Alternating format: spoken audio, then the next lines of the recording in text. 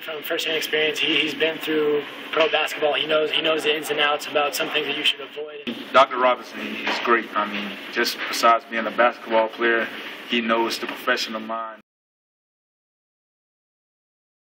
You all been hit with a DUI. And what we call DUI is destination unknown indefinitely. You guys that are looking for a job, your destination is unknown. This is now your business. What are you going to do when you finish playing? If there's no more basketball, what are you going to do? That's the question. No more sports. I don't just deal with basketball. I deal with football. I deal with baseball. I deal with soccer, track. I just deal with athletes. You say you don't know. So it's okay. Now you go into another phase, another journey, another chapter in terms of you. You are the CEO of you. So guys always tell me, oh, the thing I hear the most is, I want to do my own business. Well, right now you are you are your own business. You are the CEO of you. Are you ready to work nine to five? No, nobody's ready to do that.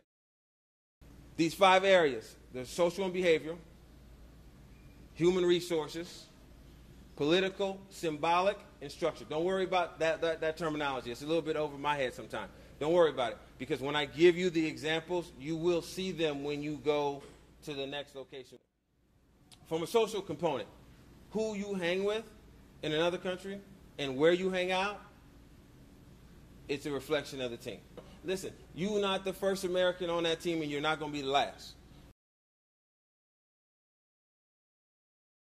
Y'all all posting all this crap and all these videos.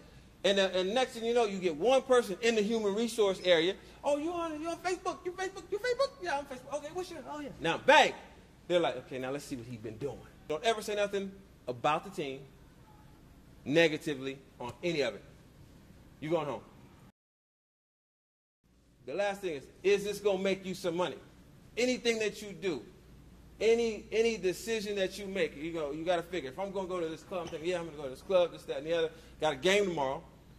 I got a game tomorrow, but you know what, man? I'm bored. I'm going out. Is this going to make you some money?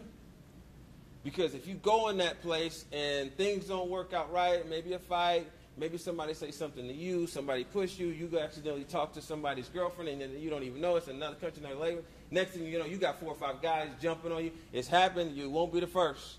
So you got to understand that every decision that you make, you have to ask yourself the question: Is this going to make me money, or is it going to cost me money?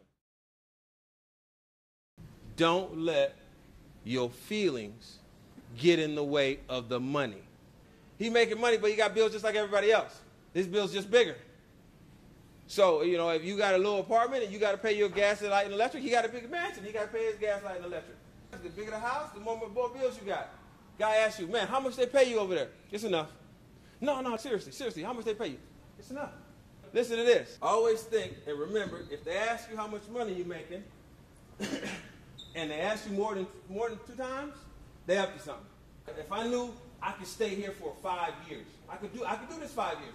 I would go to the people right then and there, halfway through, and be like, man, you know, let's negotiate the contract for next year. See where their head is.